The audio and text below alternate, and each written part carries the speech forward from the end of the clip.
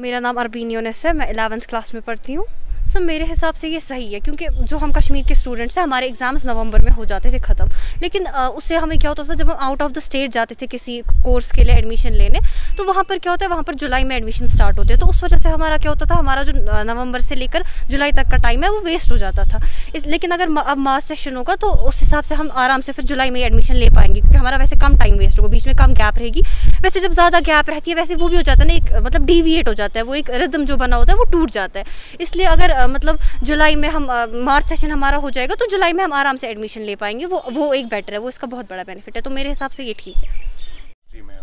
Sir, मेरा नाम शहनवाज नज़ीर है, मैं क्लास ट्वेल्थ में पढ़ता हूँ और मेरी आर्ट स्ट्रीम है। सर, देखिए, जहाँ तक मार्च सेशन का सवाल है, आज कश्मीर में जो मौसम है, कभी ज़्यादा गर्मी होती है तो कभी ज़्यादा सर्दी होती है। लेकिन आमतौर पर आज ज़्यादा गर्मी ही होती है। कमरों में उस तरह से बैठा नहीं जाता है।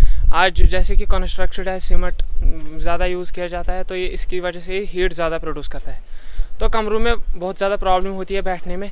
अगर मार्च सेशन का ये होगा, अगर हमारा सेशन होगा तो इस मामले में हम विंटर में बहुत अच्छी तैयारी कर सकते हैं और इस वजह से एग्ज़ाम में भी अच्छे से नंबरात ला सकते हैं।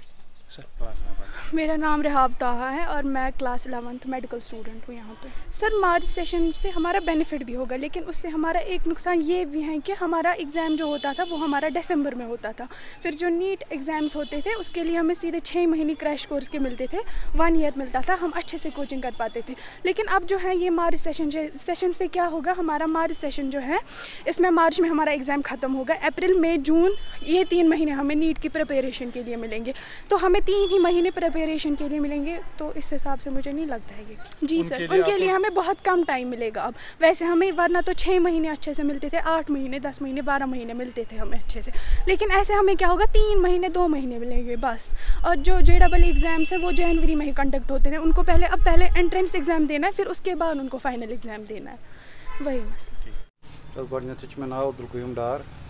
पुलवाम रोजान इस मार्चस मज एग्ज़ाम ग तम ब्रो नवंबरस मज एग्ज़ाम गसान या दसंबरस मज तम सचन मिलान वारिया टाइम ब्रो कुन बाकी एग्ज़ाम खतर दिन खतर इस वन मार्चस मज ग तम रोज बचन वारिया कम गैप सो एग्ज़ाम क्वालिफाई करने खतर